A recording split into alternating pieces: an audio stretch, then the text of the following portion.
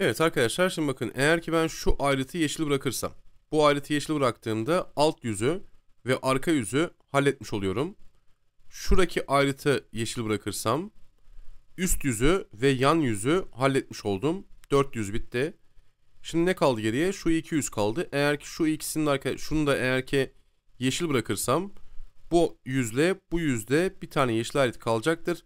3 tanesi yeşilse toplam 12 ayrıt olduğundan 12'den 3'ü çıkarttığımda 9 tanesi siyaha boyanabilir.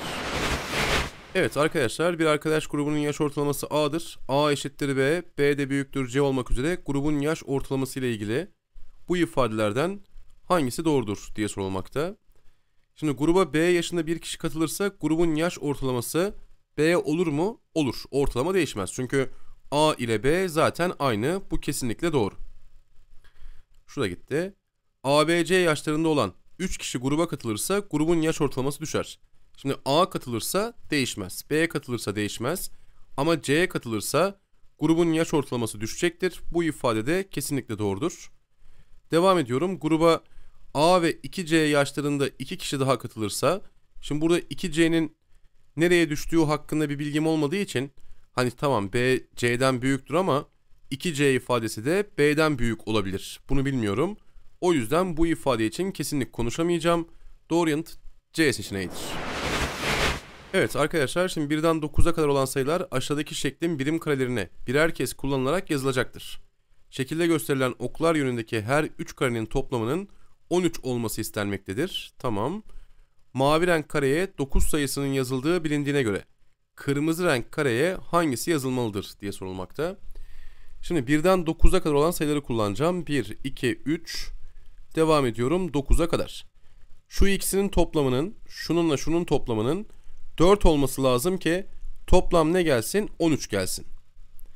Tamam peki nasıl olur bu?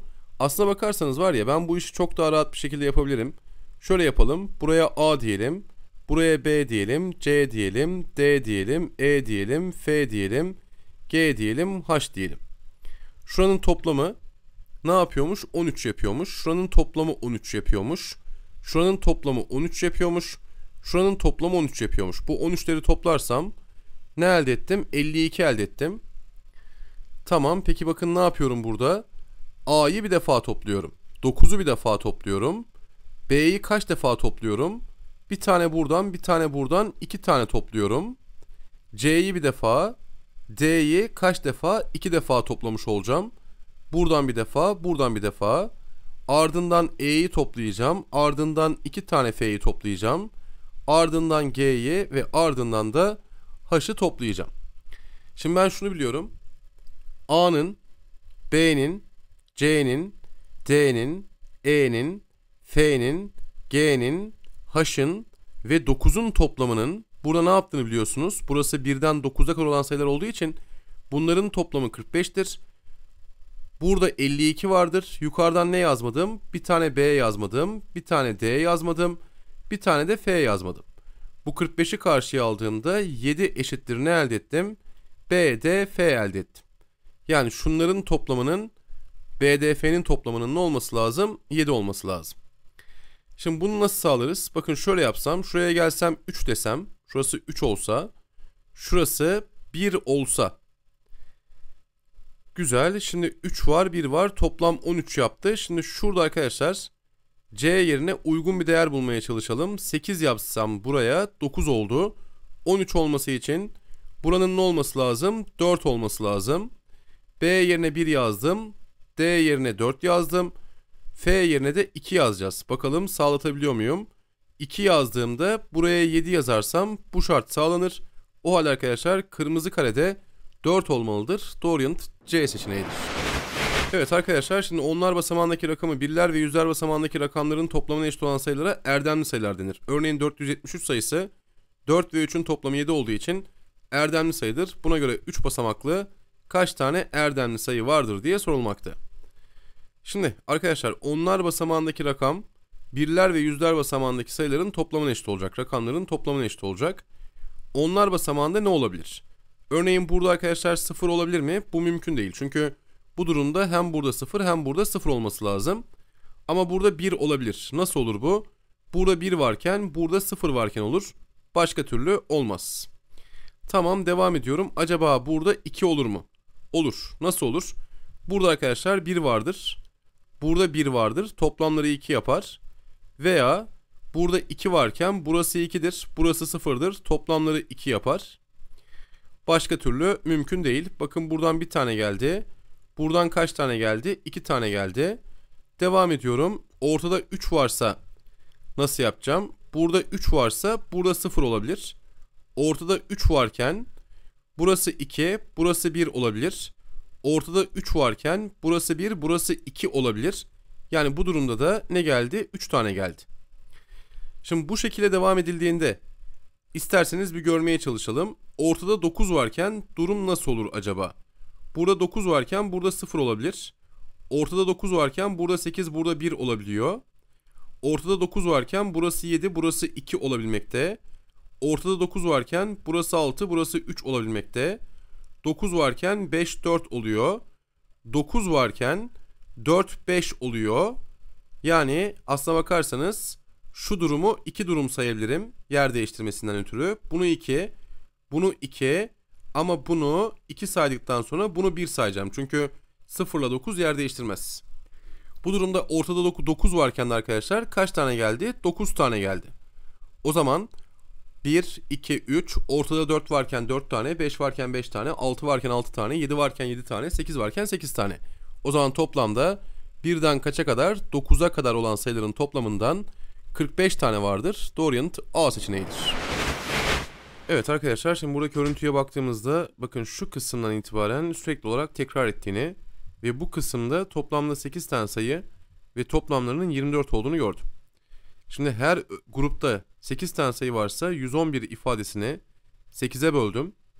Kaç defa var? 13 defa var. Kalan ne olmakta? 7 olmakta. Demek ki bu gruplardan 13 tane var. Her birinde sayıların toplamı 24 ise 13 ile 24'ü çarparsam ne elde ediyorum? 312 ifadesini elde ediyorum. Artık olan 7 ise arkadaşlar bu gruptaki ilk 7 elemanı içeren ifadedir. Yani burada 1 vardır, 2 vardır, 3 vardır, 4 vardır, 5 vardır, e, 4 vardır ve 3 vardır değil mi? Peki bunların toplamı ne yapar? Bunlar toplandığı zaman da arkadaşlar ne elde ediyorum? 22 elde ediyorum. Bu iki ifadeyi toplarsam 312 ile 22'nin toplamı 334 olduğu için doğru yanıt D seçeneğidir. Evet arkadaşlar şekildeki pistte iki şerit çizgili ve genişliği yol boyunca her bölümde 2 metre olan A ve B merkezli dairesel yollar verilmiştir. Bu pistte sırasıyla sarı ve kırmızı renkli şerit üzerinde koşmaya başlayan Baran ve Konur'un hızları sırasıyla 2 pi metre bölü saniye ve pi metre bölü saniyedir. Baran ve Konur başladıkları şeridi takip ederek bitişe ulaştığına göre Baran bu pisti Konur'dan kaç saniye önce tamamlamıştır diye sormakta. Şimdi arkadaşlar öncelikle burası 4 metre. Burasının 2 metre olduğunu biliyorum. Şu yolun uzunluğunu hesaplamak istersem yarım dairedir. 1 bölü 2 çarpı 2 çarpı pi çarpı yarıçap. Yarıçap kaç burada? Dikkat ederseniz arkadaşlar şurası da 2 metre. Yarıçap 6 olduğu için 6 ile çarpacağım. Ve buradan 6 pi elde edeceğim. Şimdi de şu yolu hesaplayacağım. Şu yolu hesaplayacağız. Bakın burası 4 metre, burası 4 metre, burası 4 metre. Bu durumda arkadaşlar bu da yarım dairedir. 1 bölü 2 çarpı 2 pi çarpı r. Yarıçap kaç birim burada? Görmüş olduğunuz gibi 8 birim. Buradan da ne geldi? 8 pi geldi. Toplam yol ne yaptı? 14 pi yaptı.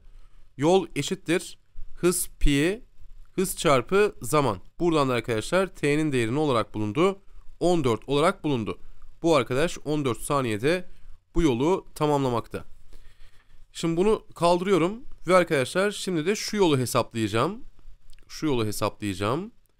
Burası 2, burası 2. Yarıçap e, 8 olduğu için 1 bölü 2 çarpı 2 pi çarpı 8'den yol ne geldi? 8 pi geldi. Ardından şu yolu hesaplayacağım. Şu yolda burası 4 metre, yarıçap 6 metre. O halde 1 bölü 2 çarpı 2 pi çarpı 6'dan ne geldi? 6 pi geldi. Toplam yol burada 14 pi'dir.